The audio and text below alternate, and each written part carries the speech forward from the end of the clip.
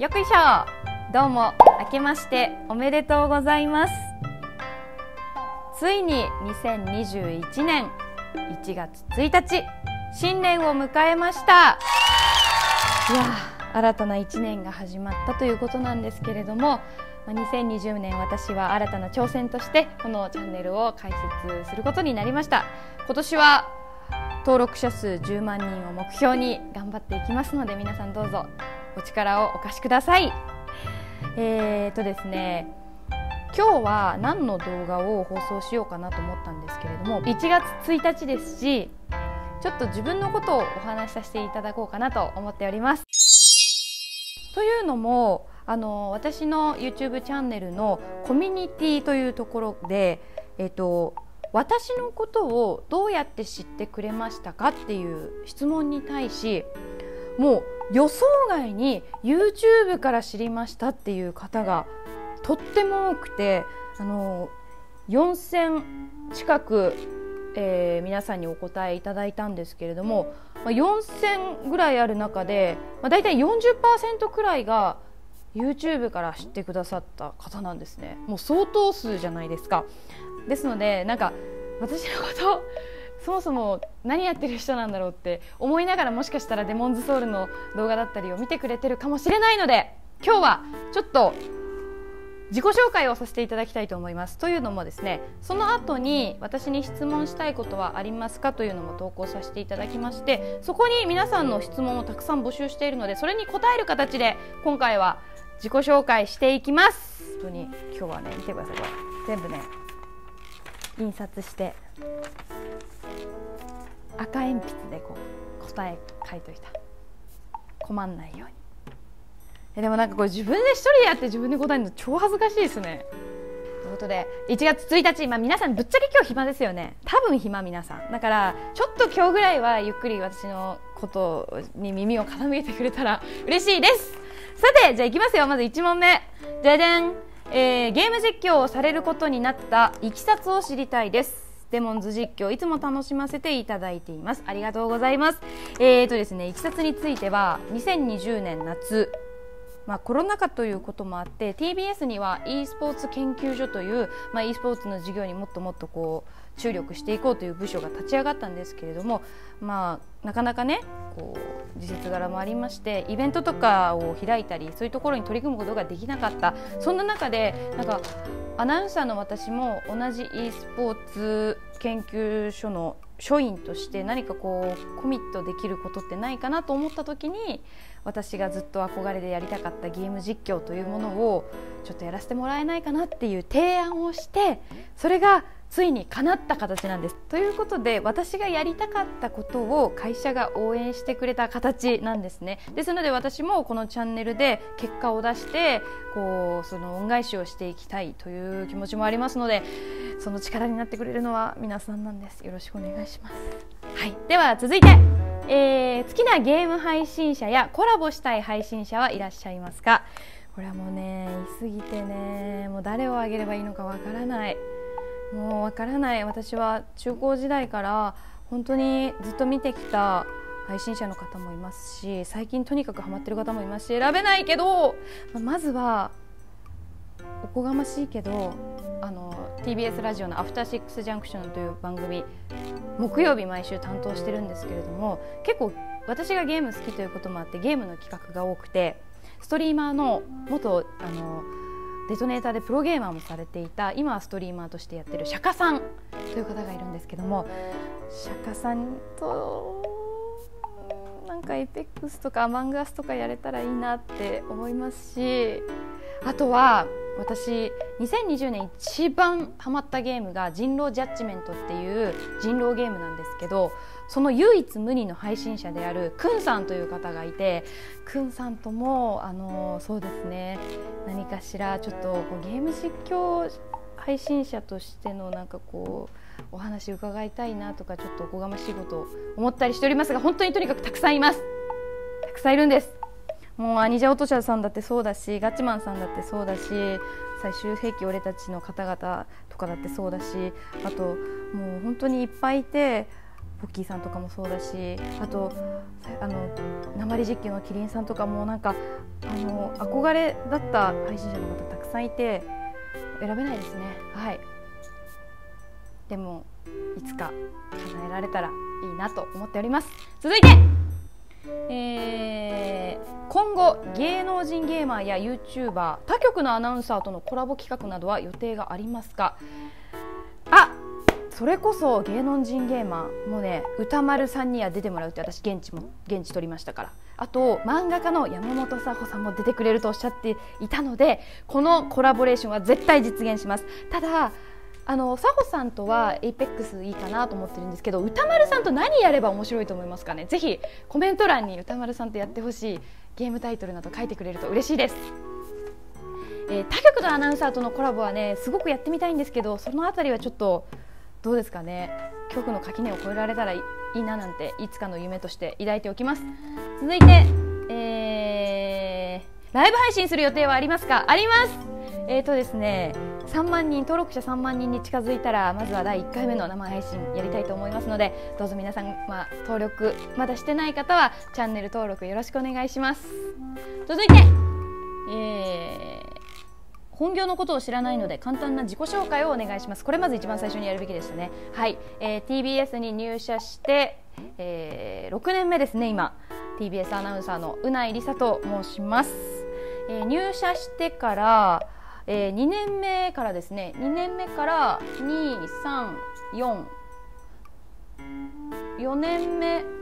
過ぎぐらいまでですね3年間以上、えー、夜に夜やってます報道番組の「ニュース2 3という番組でスポーツコーナーを担当していました。でそこから4年目あそこから5年目6年目と、えー、なってからは、まあ、今お話しした TBS ラジオの「アフターシックスジャンクション」だったり、えー、昼帯のプレゼンテーションだったりあと日曜日の夜にやってる経済番組「ビズスクエア」だったりもちろんこの YouTube チャンネルもそうですしあとそうですね月曜日にやってる有田プレビュールームというバラエティ番組の進行なんかもやらせていただいておりまして今はなんかこう割といろんなこと最初の数年間はすごくスポーツに注力した、えー、お仕事してたんですけれども最近はいろんなことをやっております。どうぞそちらの方の活躍活躍って自分で言うのも変ですけどそちらの方の仕事ぶりも見ていただけたら嬉しいです、えー、続いてとアナウンサーの生活って不規則そう。一日のタイムテーブルが知りたい。そうですね。あのー、帯で夜の番組を担当していた時は意外にこう寝る時間は一定だったんですよね。だいたい朝寝てお昼頃起きるっていうルーティンだったんですけど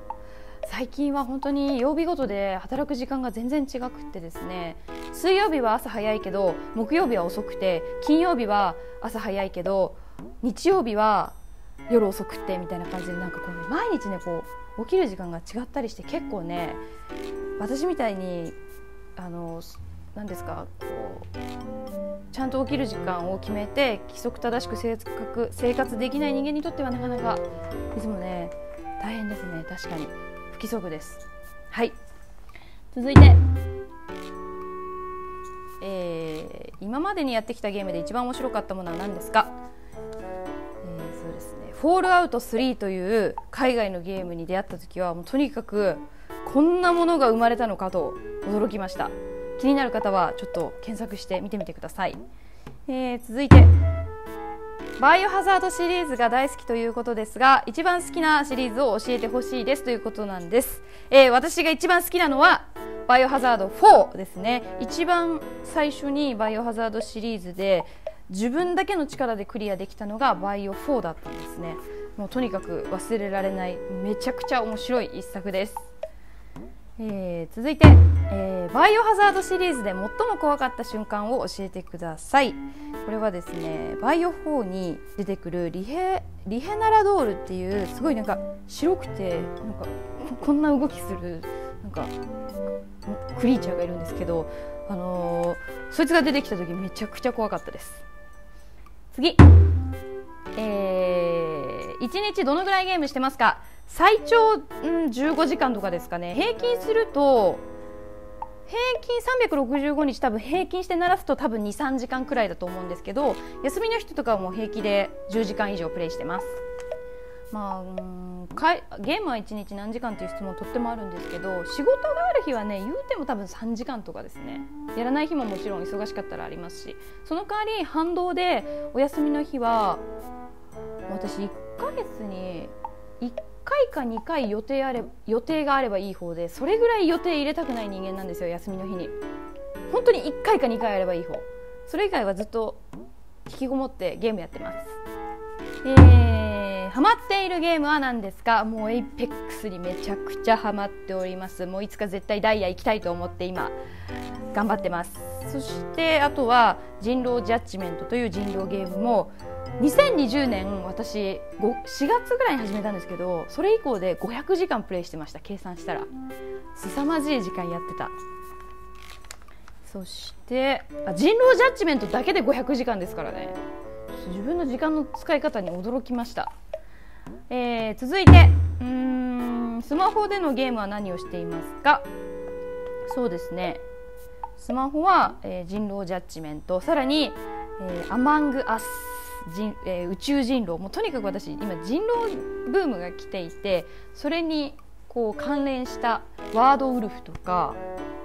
ワンナイト人狼とかいろんな人狼ゲームスマホでやってます、えー、続いてあ PC でゲームをプレイすることに興味がありますか？あります。今年の目標2021年の目標はまずゲーミング PC の導入とあと自分で映像編集がちょっとできるようになりたいなと思っているので12ヶ月以内にちょっとこれは実現したいなと思っております、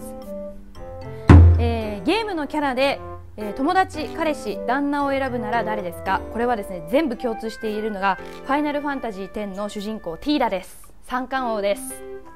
続いて、えー、1ヶ月に何本ぐらいゲームを買っていますか？まあ多分平均すると12本かな？12月も多分それぐらいですかね。はい。そんなに私あれですよ。年間何十本何百本もゲームをやってるわけじゃないです。はい。ラストエリクサーはもったいなくて最後まで使えないタイプですか？これめちゃくちゃいい質問ですね。おっしゃる通り絶対残してます。必ず何個か残ってます。もったいなくて使えない。好きな食べ物とかも一番最後に食べるタイプなので大事なものは結構使えないタイプです。自分の人生に影響を与えたタイトルは何ですか？これはもう間違いなくファイナルファンタジー10です。ファイナルファンタジーに出会った時に私はもうなんだこんなこんな世界をゲームが見せてくれるんだってもう感動しました。もう何度何度思い返してもね泣けちゃう泣けちゃうんですよね。これは本当にねプレイしてる人にしかわからないと思うんだけど今でも遅くないから「ファイナルファンタジー10」ぜひプレイしてほしいです。小さい頃にやっていたゲームは何ですか？これはですね私世代はみんな絶対やってたと思うんですけれどもポケットモンスターです。あと64のゴールデンアイパーフェクトダークというえー、そうですね主観視点のシューティングゲームめちゃくちゃ流行ってたと思いますがそれも兄弟でハマってやってました。子供の時の思い出のタイトルはその辺りかな、えー、あとゲームにハマったきっかけは何ですか、えー、もう家にありました。私が物心ついた頃にはもう遊びたいものだらけで兄が2人いるので何でもありました。全員のそのクリスマスとかお年玉とか誕生日とかが全てゲームか漫画に使われてたんですよ。もう漫画もうち何千冊も実はあってでもゲームも何百本ってある、まあ、そんな感じのお家でした。続いて。あ、えー、テンション高めでゲームをやられていますが以前からですか？という質問がありましたが、まあ、基本的にテンションは高い方だと思うんですけどあのラジオを聴いてくださってる方は多分いつも通りの私だなと思って YouTube 見てると思うんですけどただね TPO はちゃんと分け前られるというかちゃんと分かってるのであのテレビのテレビ映る時はあれですよ。真面目にやってますよ。ニュース読む時とかプレゼンする時は。だからあのいつもこんな感じのあのキャラクターじゃないのでぜひぜひその辺はご理解いただけると嬉しいです。えー、あとえ、ウーバーイーツでよく注文するメニューは私はよくゲームをする際にウーバーイーツを注文するんですけれどもつけ麺ですね。もうとにかくつけ麺にはまってて週にね2回は食べてますねつけ麺。家の近くのつけ麺屋さんだったり会社周りのつけ麺屋さんだったりよく食べてます。うその出前もしますしね。続いて彼氏とのゲームデートはありもうこれめちゃくちゃありです。ただ家にモニター2台でしょ？であとハードも2台でしょ？その環境を揃えないとお家でゲームデートって絶対できないからもう一生会えないですよね。バラバラで一緒にゲームやることになるから。その辺り大丈夫かなっていう懸念はあるんですけどゲームデートはありです、えー、ゲーム以外での趣味とゲーム以外での趣味と呼べるものはありますがもうほんとゲームだけのキャラクターに見えちゃってると思うんですけど漫画もアニメも大好きです本当にえー、最近読んだ漫画はねあのネットフリックスで「今和の国のアリス」っていうドラマが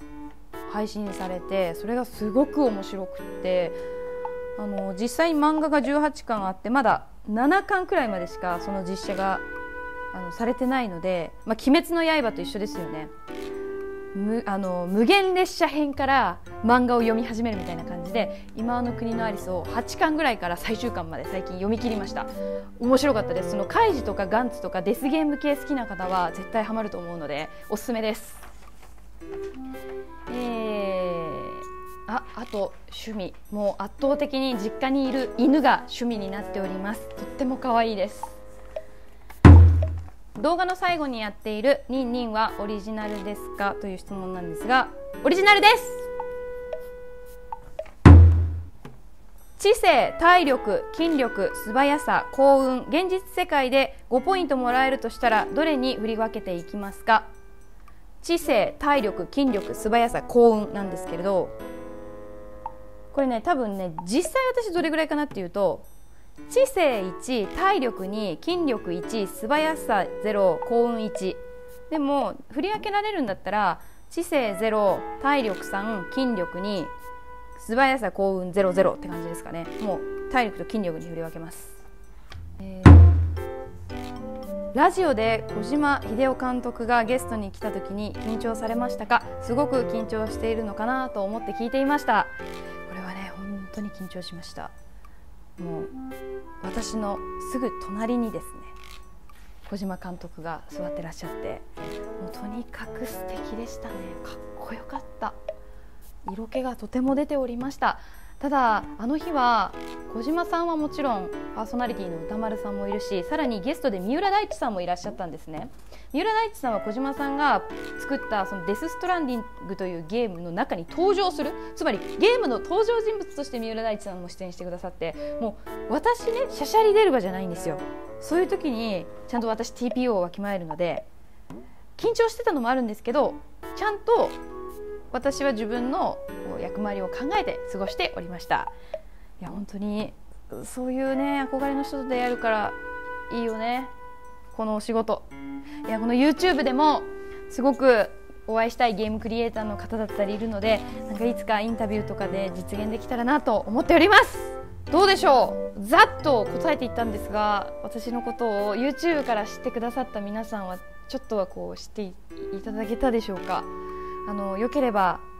そうですねこれからもこのタイトルだけ見てるよとかじゃなくてこういろんないろんな動画配信を見ていただけたら嬉しいです。そして今後ともどうぞよろしくお願いします。今月中に生配信もできるように頑張りたいのであのー、どうぞどうぞアナウンスをなんか注目しといていただけたら嬉しいです。最初はねまだあのあの登録者の皆さんとコラボとまではいかないかもしれないんですが例えばデモンズソウルのボス戦なんかをこう生ライブしながら皆さんのアドバイスをもらいながらやれたりしたら、ね、こういい瞬間を共有し合えるかなと思うのでぜひ楽しみにしていてください。ということで、え2021年もどうぞよろしくお願いします。この動画がいいなと思った方はグッドボタンとチャンネル登録お願いします。